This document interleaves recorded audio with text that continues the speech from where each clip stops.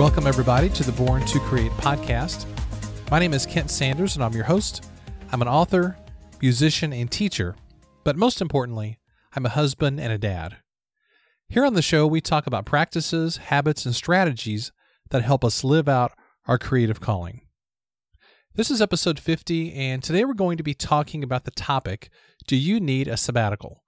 You can find the post and the links that accompany this episode at kentsanders.net slash sabbatical.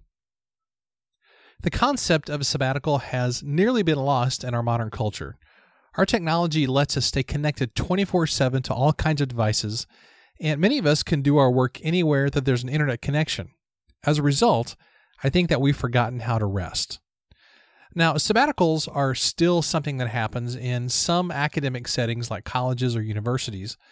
Likewise, some really fortunate pastors also get a sabbatical. But for most everybody else, a sabbatical is a dream that probably will never become a reality, at least as far as taking an extended break from their normal work. That's why it's so important for each of us to find ways to take breaks, even if we might not get a traditional type of sabbatical in our job or in our business. So, before we go any further into this topic, what is a sabbatical exactly? Well, the term itself is related to the concept of the Sabbath or a day of rest. Now, the Sabbath happens once a week, and a sabbatical ideally is something that happens once every few years. It can be, you know, six years or seven years or 10 years. It just really depends on the setting. For example, my church gives our pastors a month long sabbatical every five years, which is awesome. And the purpose is to give those pastors a chance to take kind of an extended vacation and just to rest and relax. Professors who teach in academic settings that grant sabbaticals will be eligible for a semester long or even a year long break from their regular teaching duties. However, it's not a vacation. The purpose of a sabbatical in an academic setting is usually to give the prof the time and the space to do some type of research in their field that they wouldn't normally be able to do. So, as you can see, the process of a sabbatical can vary greatly depending on the place and the policies that they have. But the purpose of a sabbatical really is the same no matter how you slice it. And the purpose is to give the person a break from their regular duties so they can move the needle forward in their personal or professional life. So, over the next couple of months, I'm going to actually be taking a sabbatical from regular blogging and podcasting in order to do a couple things. One is to do some intensive work on my next book, which is Born to Create. Also, I need to spend some extra time prepping for my fall classes at college, as well as some other administrative duties uh, that I've been given for this coming academic year. So I'm just going to set blogging, podcasting pretty much aside for a couple months to focus on some other things that I really need to give some time and attention to. Now, something else I'm going to be doing though is refining my business direction and my strategy. And I, I will be totally honest with you, I am not naturally a business minded person. So this kind of stuff of you know a business strategy and figuring out you know the best ways to monetize my platform and figure out how to do all that stuff that stuff does not come easy to me at all. My impulse is just to kind of create stuff and put it out there but you know at some point you have to make some money at this. So i've made a little bit uh, emphasis on the little bit part i guess. But anyway that's something that doesn't come really natural to me. So it's something i've got to really think about strategically and really plan and think about a lot. One thing that I do know for sure is that I need to narrow my focus in my platform. And if you've read my blog or listened to this podcast for any length of time, you've heard me address or, or read me. Well, read me, that doesn't even make any sense. You've read blog posts that I've written. Anyway, you've experienced, whether listening or reading, you've experienced lots of different topics, all pretty much related to creativity, but you know, you may have noticed that I, I tend to lack focus in my writing and my podcasting. I touch on a lot of different things, and I feel like I need to really narrow that focus down. And again, it's focused on creativity, but I think I need to have a clearer idea of who I'm writing for and really hone in on who my ideal reader and ideal listener is and figure out what problems am I solving for those people exactly. So I'm currently reading Donald Miller's excellent book, which is called Building a StoryBrand. This book actually doesn't come out till October, but I pre-ordered it, and for people who pre-ordered that book in a certain window of time, about a month ago, he sent out uh, advanced reader copies of the book. And I have to tell you, this book is really, really good. It's been super helpful in forcing me to think about who my ideal customer, quote unquote, is. Um, in this context, that means my reader or my audience member, and what problems I'm solving for them. So, after a lot of thought and a lot of work um, and some fantastic input from my from my awesome wife Melanie, I've narrowed down my focus to this, and this is just kind of one statement, or what Donald Miller would call in this book, your one liner. And that is this for me I help overwhelmed and distracted artists be more productive so they can live out their creative calling. Let me repeat that again. I help overwhelmed and distracted artists be more productive so they can live out their creative calling.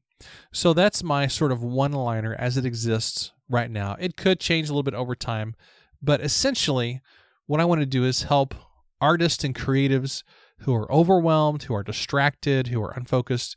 I want to help those people to be more productive so they can live out their creative calling. Now, there's a lot of things involved in what I define as being productive. I think that means, you know, using your time wisely, but it also means getting stuff out of your out of your life that doesn't belong there. And, you know, over the next few months you'll see me address more of those things, I'm sure. But really, it comes down to, I think, using systems and using a systems process to help us to be more productive. So, if you've read my blog before, or listened to my podcast, you know that I am passionate about the value of systems and processes in helping us to achieve our dreams. Again, you will hear more about that stuff uh, over the next few months. In the meantime, as I'm taking this break, please enjoy any of the dozens and dozens of blog posts that you'll find on my site at kentsanders.net or listen to any of the 49 other podcast episodes that I've produced over the last several months. Also, I would encourage you to visit and join the Born to Create Facebook group, and there is a link to that in the show notes. This is a great group full of caring people who are doing awesome creative work. So, back to the headline of, or, rather, the title of this podcast episode, which is Do You Need a Sabbatical? Let's turn this over to you. Let's turn the spotlight back on you and let me encourage you to think about your own need to take a break. You know, maybe things in your blogging or your writing or your creative work are not going like you want. So maybe it's time to push the pause button for a bit and try and figure things out and figure out why it's not working and why you're not getting the results that you want. I think it's much better to stop and clarify your direction than it is to keep going a direction that isn't working for you. That's a hard lesson for us to learn, but I think it's a really important one as well. But you know, it's not just about the creative work, it's also about your quality of life. You can't keep on pushing, pushing, pushing with no break in sight. We artists and creatives are really prone to burning ourselves out because we're so passionate about our work. But what happens when you burn the candle at both ends? Well, eventually, you'll go down in flames. You know, there's an old saying that goes, I'd rather burn out than rust out.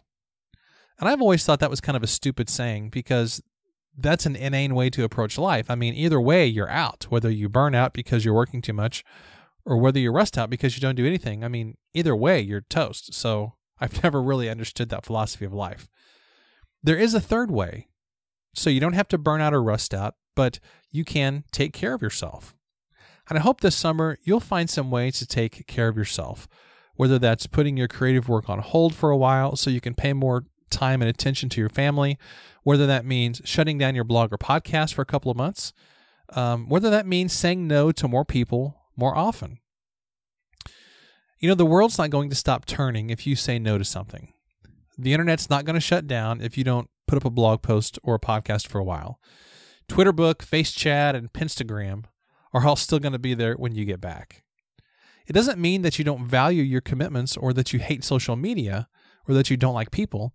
It just means that you have a limited amount of time, energy, and attention. So I'd encourage you to use those resources wisely. Well, I hope that you'll take these words to heart that I've shared in this episode. The best gift that you can give to yourself and to the world is a healthy, refreshed, and focused self. So, how do you plan to take a break this summer? I would love to hear your thoughts. You can join the conversation and find the post and the links that accompany this episode at kentsanders.net slash sabbatical. When you visit my site, you'll find all kinds of great resources to inspire your creativity. And I'd also love to share a gift with you when you subscribe to my newsletter. You can check it out and learn more about my books, writing, and services at kentsanders.net. Well, I definitely appreciate your feedback, and whenever you leave a rating and review on iTunes, it helps other people discover the show, and it also helps me to serve you better. To leave a rating and a review for the show, go to kentsanders.net slash iTunes. Until next time, remember that you were born to create and designed to make a difference. What will you do with the time you have left?